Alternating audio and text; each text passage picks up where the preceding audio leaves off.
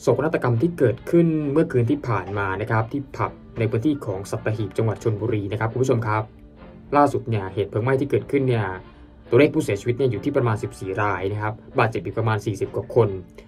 แน่นอนว่าประเด็นที่เกิดขึ้นนี้เนี่ยหนึ่งในผู้เสียชีวิตนะผู้ชมครับมันมีประเด็นออกมา ก็คือนักร้องที่ไปทำการแสดงไปทำโชว์ที่สนามบันเทิงแห่งนี้ก็คือ Mountain Bee นะครับวงวงนี้เนี่ยนะครับ ล่าสุดเนี่ยข้อมูลที่น่าตกใจน่าช็อกมีการเปิดเผยออกมาว่า นักร้องนำและก็มือคีย์บอร์ดที่เสียชีวิตในเหตุการณ์ครั้งนี้เนี่ยทั้งสองคนนี้ไปขึ้นไปร้องขึ้นไปโชว์แทน วงที่จะต้องไป แล้วเพิ่งไปที่นั่นครั้งแรก เป็นสิ่งที่ช็อกมากครับคุณผู้ชมครับ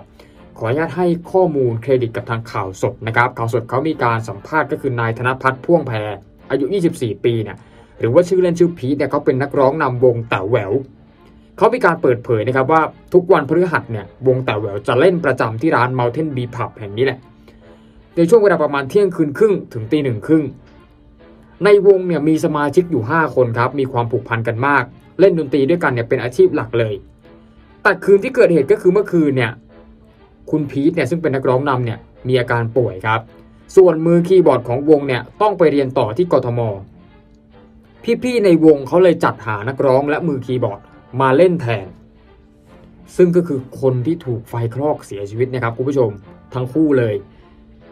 ทางคุณพีทบอกว่าตนเองส่วนตัวเนี่ยไม่ได้รู้จักกับนักร้องที่มาร้องแทนหรอก เพราะว่าเขาเพิ่งจะมาร้องที่ร้าน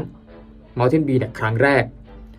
แต่รู้จักกับมือคีย์บอร์ดที่เสียชีวิต เพราะว่าบ้านเนี่ยอยู่ใกล้กันไปกินข้าวที่ร้านบ่อยๆ คุณพีทบอกว่าเมื่อคืนเนี่ยตนเองนอนเร็วครับเนื่องจากว่ามีอาการป่วย กินยาเข้าไป กระทั่งประมาณตีห้าพี่ที่รู้จักเนี่ยโทรมาหาแม่ครับ ซึ่งคุณแม่เนี่ยก็รีบมาเคาะห้องปลุกเลยช็อกมาก ตนเองก็เพิ่งจะได้ติดตามข่าวเพราะมีคนเนี่ยทัก inbox มาเยอะมากทักข้อความ message มา คิดว่าเป็นนักร้องที่เสียชีวิต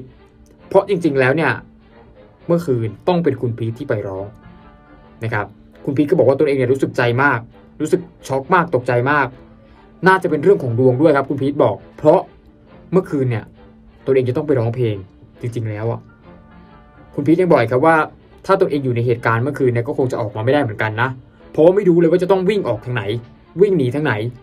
จากการสังเกตในยร้านเนี่ยเป็นสี่เหลี่ยมครับ ลูกค้าเยอะ เพราะเป็นร้านลูกค้าเยอะร้านดังกล่าวเนี่ยนะครับค่อนข้างแออัดพอสมควร ประตูเข้าออกในเบื้องต้นคุณพีทบอกมีทางเดียวนะครับ แบ่งออกเป็นสองชั้น ชั้นแรกเนี่ยเป็นประตูที่มีกาดร้านเนี่ยคอยดูแล เดินเข้าไปจะเป็นพื้นที่สูบบุหรี่แล้วก็นั่งรอนะครับ และผ่านประตูชั้นที่สองไปถึงจะเข้าไปในร้านได้ คุณพีทบอกว่าตอนนี้เนี่ยส่วนตัวเองเนี่ยเป็นรู้สึกเป็นห่วงพี่ๆในวงอีก 3 คน มือเบสมือกลองแล้วก็มือกีตาร์ซึ่งถูกไฟคลอกทั้งตัวอาการสาหัส บางคนเนี่ยยังอยู่ในห้อง ICU นะครับแล้วก็รู้สึกแย่ที่นักร้องแล้วก็มือคีย์บอร์ดที่มาแทนเนี่ยเหมือนกับว่ามาตายแทนเรา ก็ขอแสดงความเสียใจกับครอบครัวผู้เสียชีวิตนะครับคุณพีทบอกนี่เรียกว่าเป็นเรื่องของดวงก็ว่าได้ครับคุณผู้ชมครับ คุณพีทมีอาการป่วย จึงไม่ได้ไปทำการแสดงเมื่อคืนที่ผ่านมา แต่มีคนไปแทนนะครับ ทั้งนักร้องนำเมื่อคืนแล้วก็มือคีย์บอร์ดเสียชีวิตนะครับ ในที่เกิดเหตุทั้งคู่ ต้องขอแสดงความเสียใจกับครอบครัวของทั้งสองคนด้วยนะครับข่าวไวทีนิวครับ คุณจะไม่พลาดทุกกระแสร้อนของสังคมครับ